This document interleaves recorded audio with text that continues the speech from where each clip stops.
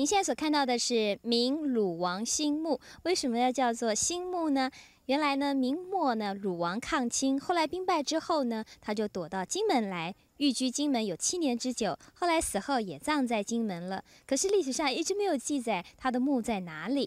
后来呢，到了民国四十八年的时候，国军因为要炸山采石，才发现了鲁王的真种。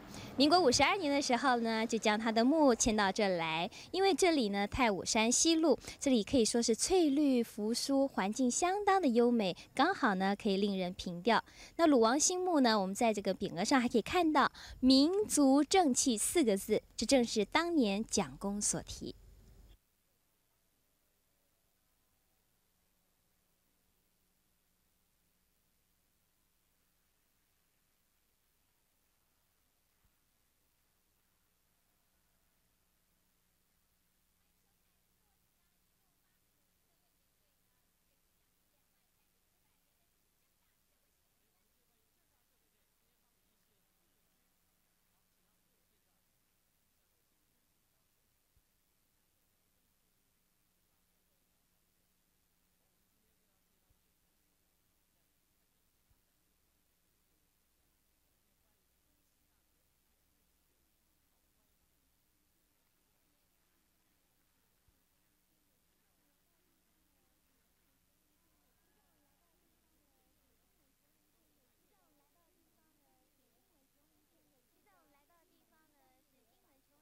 现在我们来到的地方呢，是金门琼林村的西郊一门三姐坊。它是有一个故事的。这个故事是叙述的，在清朝的道光年间，蔡仲环的妻子陈氏，她在二十九岁就守寡了，就她独立的抚养她的两个儿子长大。结果没有想到呢，她的大儿媳和二儿媳也分别在二十九岁和二十一岁就守寡了。结果呢，他们三人呢都非常的恪尽节俭，后来苦尽甘来，尽享天伦，所以后人就替他们树立了。贞节牌坊，而现在呢，这个一门三节坊也是成为了文建会列为的三级古迹。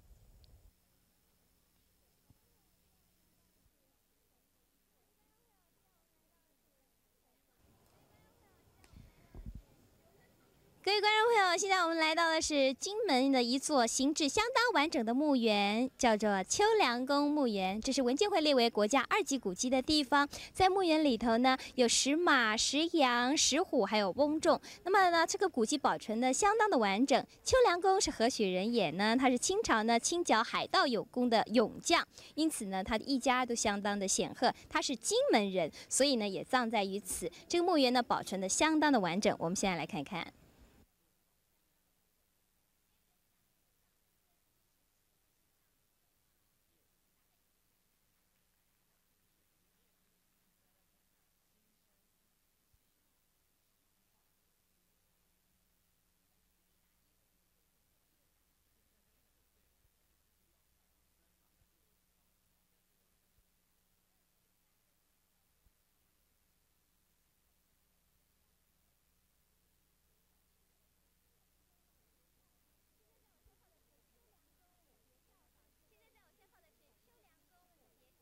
现在在我身后的是秋凉宫母节效坊，是位于金城镇。那么在金门呢，真的可以说是处处有古迹，处处有温情。秋凉宫呢是清朝时候的浙江提督，他呢奏请朝廷为他守节三十多年的母亲而建立了这个贞节牌坊，因此呢叫做秋凉宫母节效坊。这个做工呢相当的精细呢，可以说是古迹了。文建会也评定为一级古迹，是在七十四年评定的。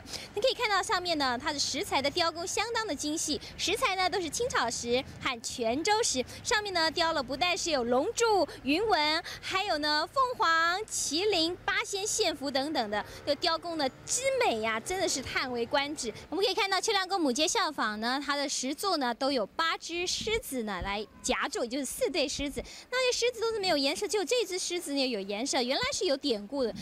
每一天呢，太阳一出来，一些日照，先照到就是这头狮子，所以大家认为呢，它具有灵性，所以呢，还有很多人呢在这里持香拜拜呢。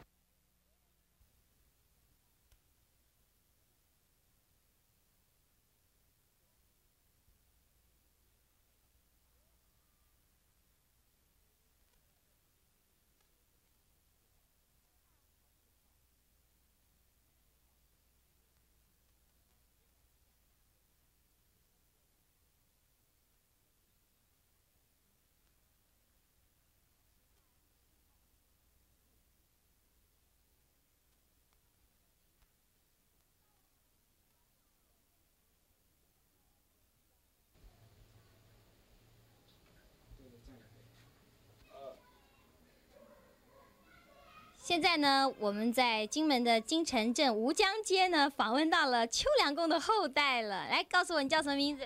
嗯，邱长青，邱长青，你是邱家第几代？第八代。第八代，这是阿妈，阿妈你好。好好好，你是第几代？嗯，第六第六代对不？好，这邱家啊，他们一直都保有这个故宅。那您知道呢？我这个。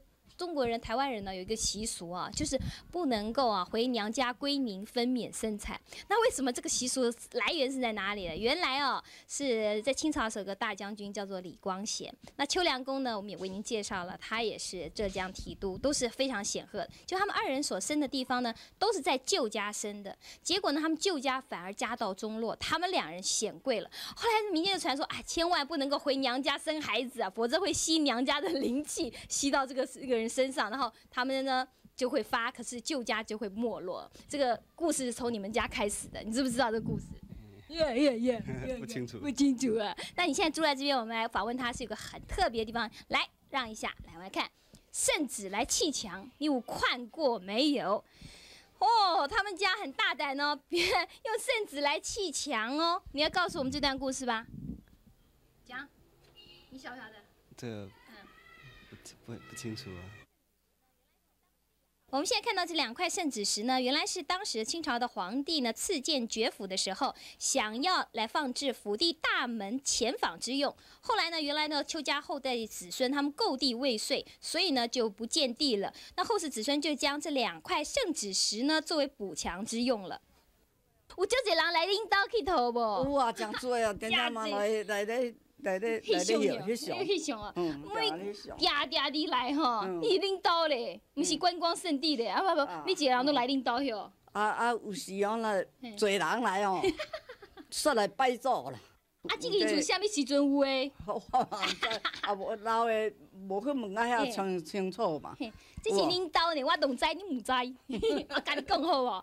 啊，这个是清朝的时候啦，因为邱良公哦，他是金门的候补人。那邱良公是候补人，他因为他这个官做的很大，他剿海盗有功啊，加上李光显啊，他们都是大将军，因此呢，他们就赐有这个宅地来光复他们的宅地。那这个宅地这口井哦，听说还有很多人来拜拜的哦，你家拜拜有不？